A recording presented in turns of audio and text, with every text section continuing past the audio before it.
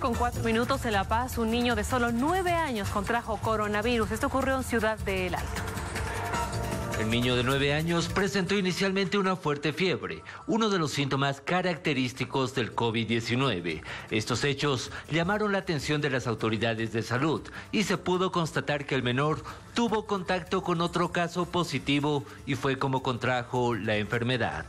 En realidad él es eh, contacto de un paciente ya positivo y que eh, presentó algunas alzas térmicas, un menor de edad de nueve años de sexo masculino. De acuerdo al secretario municipal de salud del Alto, el niño es estable y permanece en aislamiento al interior de su vivienda. No se descarta que haya tenido contacto con otras personas.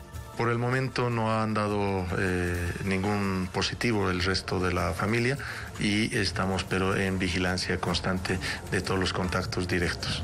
En la ciudad del Alto ya suman 42 los casos positivos de coronavirus y seis muertes hasta el mediodía del miércoles. En seis distritos de los 14 de la urbe alteña se presentan contagios del COVID-19.